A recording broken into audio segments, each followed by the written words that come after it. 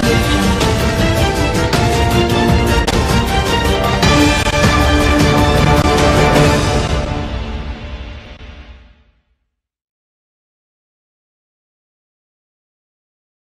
Assembly నుంచి ముఖ్యమంత్రి రేవంత్ రెడ్డి దొంగల పారిపోయారంటూ బీఆర్ఎస్ ఎమ్మెల్యే సబితాంద్రారెడ్డి ఆగ్రహం వ్యక్తం చేశారు. డిప్యూటీ సీఎం బట్టి విక్రమార్క మాటలు బాధాకరమని చెప్పారు. తమ కర్మకాలి అసెంబ్లీకి వచ్చామంటూ సబిత కంటదని పెట్టుకున్నారు. పార్టీ మారారని అనే హక్కు కాంగ్రెస్ నేతలకు లేదని సబితాంద్రారెడ్డి చెప్పారు. తాము పార్టీ మారలేదని పార్టీ నుంచి బయటకు మెడపెట్టి గెంటేశారని అన్నారు. తమ కుటుంబానికి ఒక చరిత్ర ఉందని చెప్పారు. రెండు వేల పద్నాలుగులో టికెట్ ఇవ్వకపోయినా తాను పార్టీ కోసం పనిచేస్తానని తెలిపారు. రాజకీయాల్లో తనను రాజశేఖర రెడ్డి తీసుకొచ్చారని మహిళలను మహానేత రాజశేఖర రెడ్డి ప్రోత్సహించారని చెప్పారు. ఇప్పుడు మహిళలను కనీసం మాట్లాడనివ్వడం లేదని సబితాంద్రారెడ్డి అన్నారు. ముఖ్యమంత్రి సీటు రేవంత్ రెడ్డి సొంతం కాదని నాలుగు కోట్ల ప్రజలిచ్చిన పదవని చెప్పారు.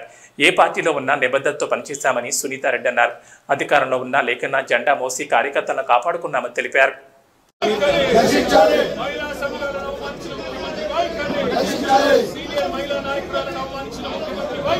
మహిళా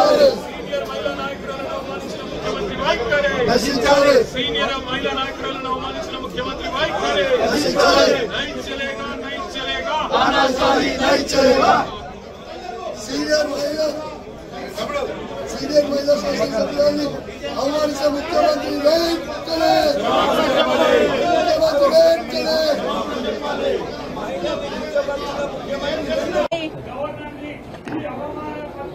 ఈ అసెంబ్లీలోకి వచ్చారన్నారు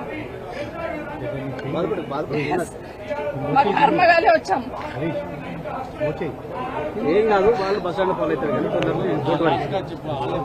ఇది ఇది బస్ స్టాండ్ ఫాలో అయితే బస్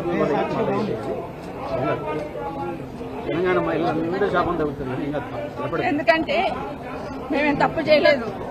దేశంలో చాలా మంది పార్టీలు మారుతూ ఉంటారు. ఈ రోజు మీ పక్కన కూర్చోబెట్టుకున్నారు.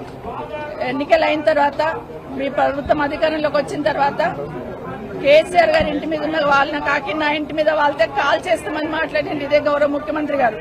కానీ అదే కేసీఆర్ గారు గెలిపించిన ఎమ్మెల్యేలంతా తీసుకుపోయి మీ పక్కన కూర్చోబెట్టుకున్నప్పుడు నన్ను పార్టీ మారినవని అడిగి అధికారం మీకు ఎక్కడిదని అడుగుతున్నాను. ఆ రోజు నేను పార్టీ మారినప్పుడు విత్ ఇన్ ద పార్టీలో ఏం జరిగింది? ఏ విధంగా మమ్మల్ని మెడబట్టి బయటికి గెంటేశారనేది మీకు తెలీదా?